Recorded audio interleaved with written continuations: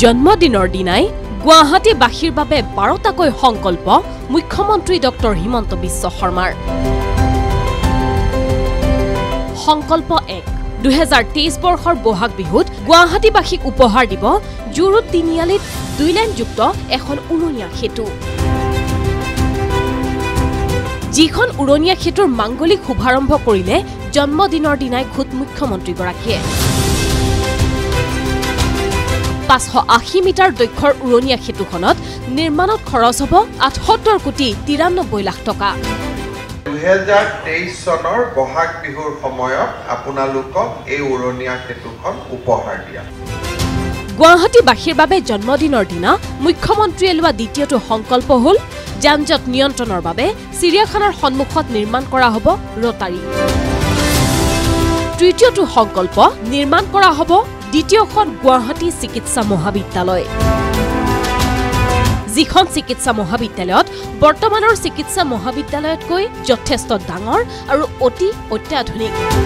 মহেন্দ্ৰ মোহন চৌধুৰী আৰু লোকপ্ৰিয় গোপীনাথ বৰদলৈ যক্ষ্মা চিকিৎসালয়ক সংলগ্ন কৰি গুৱাহাটীত গুৱাহাটী মেডিকেল কলেজতকৈও ডাঙৰ এখন চিকিৎসা মহাবিদ্যালয়ৰ কাম নিৰ্মাণৰ বাবে হাতত লৈছোঁ।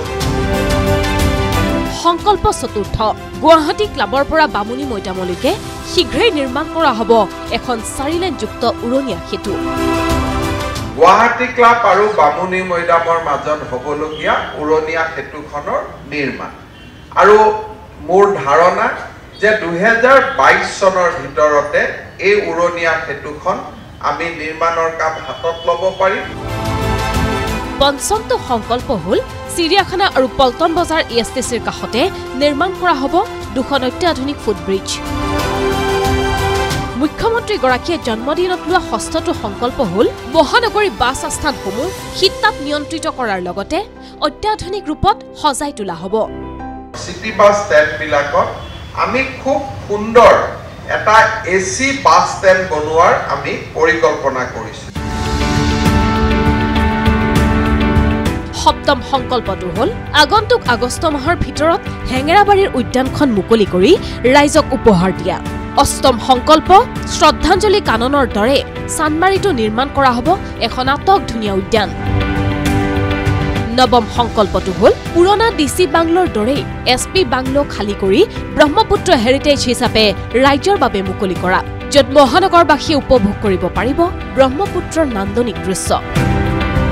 দশম সংকল্প নিৰ্মীয়মান মালিগাঁও আৰু চেৰাবভাটিৰ উৰণীয়া সেতু সময়তকৈ আগতীয়াকৈ মুকলি কৰি ৰাইজক উপহাৰ দিয়া।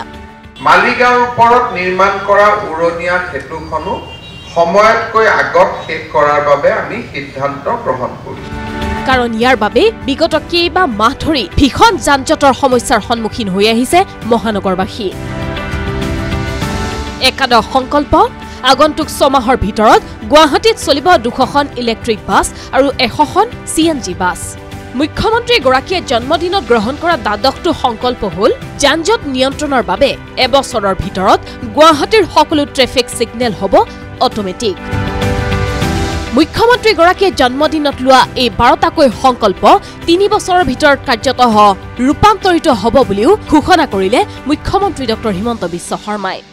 এই কামবোৰ পৰিকল্পনা নহয়। যদি মই পৰিকল্পনা কৰাৰ বহুত কম কিন্তু পৰিকল্পনাবোৰ হ'বও পাৰে নহ'বও পাৰে। কিন্তু এইখিনি পৰিকল্পনাৰ ভিতৰত নপৰে। ভৱিষ্যতৰ কথা শুনাৰ শুনাৰ ধৈৰ্য আমাৰ বৰ্তমান নাই। কিন্তু এই গোটেইখিনি কাম আমি তিনিটা বছৰৰ ভিতৰত দেখা পাম।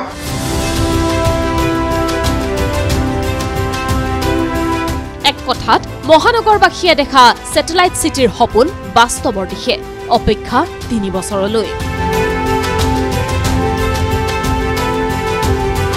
ভিডিঅ' জাৰ্নেলিষ্ট ভূপেন ৰাজবংশীৰ সহযোগত ধ্ৰুৱ বৰাৰ report M D twenty four.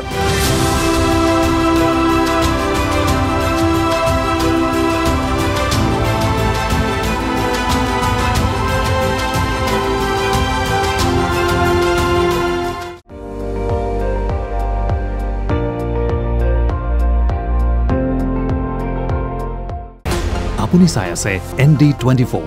সৰ্বশ্ৰেষ্ঠ নহয় সৰ্বোত্তমৰ দৌৰ